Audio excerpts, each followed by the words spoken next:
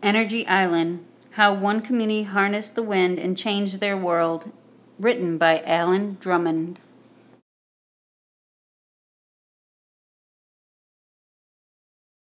Welcome to Energy Island. The real name of our island is Samso, but we like to call it Energy Island. Not too long ago, we were just ordinary people living on an ordinary island in the middle of Denmark. In many ways, Samso was, and still is, not very different from where you live. We have lots of fields and farms where farmers raise cows and sheep and grow crops like potatoes, peas, corn, and strawberries. There is a harbor where the ferry and fishing boats come in. Our little home has recently become quite famous, and scientists travel from all over the world just to talk to us and learn about what we've done. Why is that?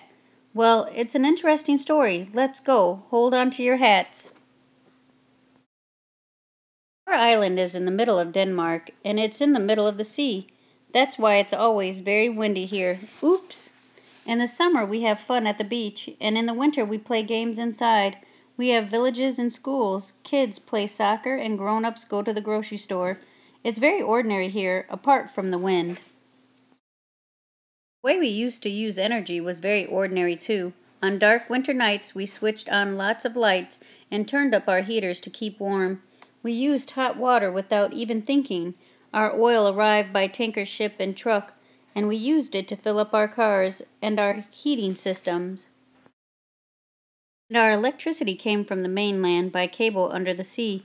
A few years ago, most of us didn't think much about where our energy came from or how it was made. That was before our island won a very unusual competition. The Danish Ministry of Environment and Energy chose Samso as the ideal place in Denmark to become independent of non renewable energy. A teacher named Soren Hermansen was selected to lead the Energy Independence Project. He was a very ordinary person, too. Okay, he did play bass guitar in a band, but his favorite subject was environmental studies, and he was very excited about energy independence. Tell me, class, what are some ways we could make our own energy right here on the island? Capture heat from the sun, ride bicycles instead of driving cars, use oil from crops, burn straw and wood. Imagine if we really could make enough energy from the sun and our crops and even our own legs to power up the whole island. Then we wouldn't need the oil tankers to come here. We wouldn't have to worry about all the world's oil running out, and we wouldn't need electricity to be sent from the mainland. Renewable resources are so much cleaner, and think of the money we'd save. We just need to think big. But do you think we can really create that much energy ourselves? asked Nadja. From just the sun, our crops, and our legs? Well, you know, said Catherine, if there's one thing our island has plenty of, it's wind. Maybe we should start with wind energy. That's a wonderful idea, said Mr. Hermansen. Who's with me? Hold on to your hats, we all said. We kids were very excited about all the new ideas, but as far as the grown ups, well, it took them a while to catch on. It will cost millions, said Jorgen Tranberg. All these cows keep me busy enough already. Heat from the sun, said Peter Poland. Why, why would we need to bother with that? As long as I can keep my house warm and watch TV, I'm happy. I don't need change. Bicycles, said Mogens Mahler. No way, I love my truck. Why us, said Dorothy Knudsen. Let some other island take on the challenge. Renewable energy, said Jens Henson. I'm too old for all that.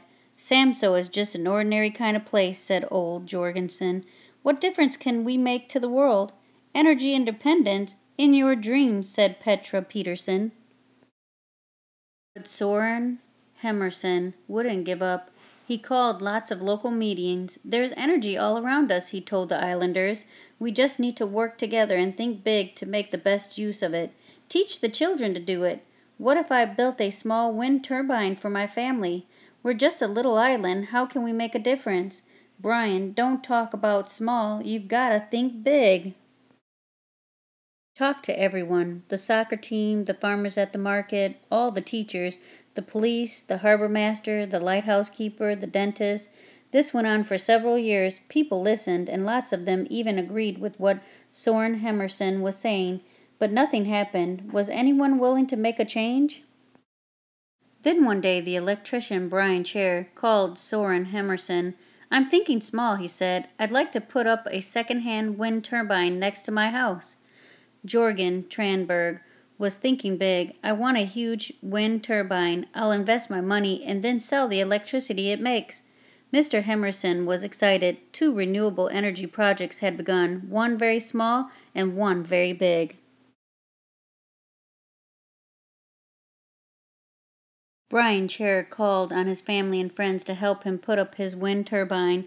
While it took a big ship, some giant trucks, and two enormous cranes to build Jorgen Tranberg's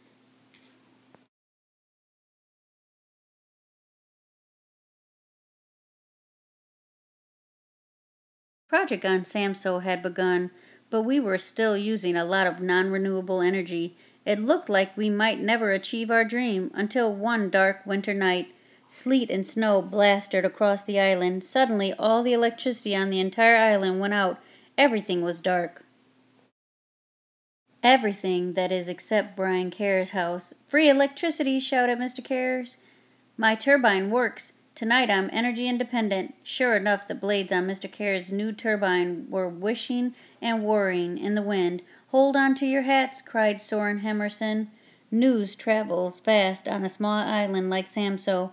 After that night, everyone was asking how they could make energy of their own.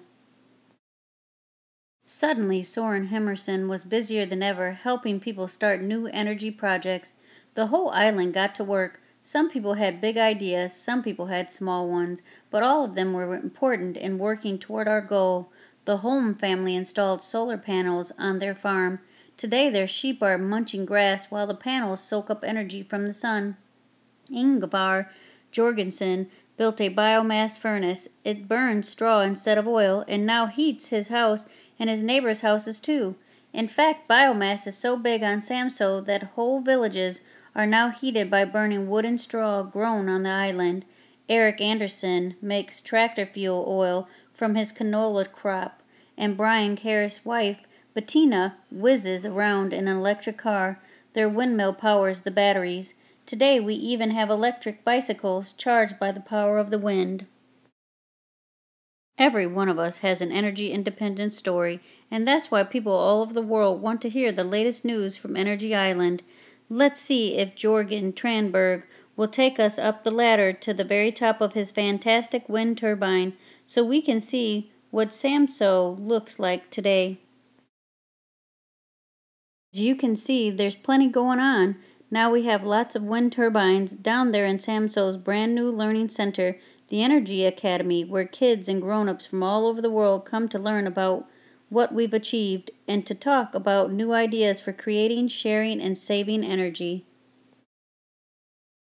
Guess who the director of the Academy is? An extraordinary teacher named Soren Hermansen. Things have certainly changed in our, our own little island in the past few years.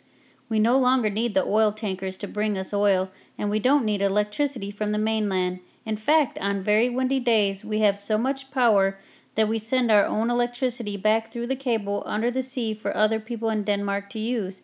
Samso may be a small island, but we have made a difference in the world, reducing our carbon emissions by 140% in just 10 years, and we did it by working together. So that's how we got the name Energy Island. And what can you do to make a difference on your island? What's that? You say you don't live on an island? Well, maybe you think you don't live on an island, but actually you do. We all do. We're all islanders on the biggest island of them all, planet Earth, so it's up to us to figure out how to save it. There's renewable energy all around us. We just need to work together to make the best use of it. Hold on to your hats.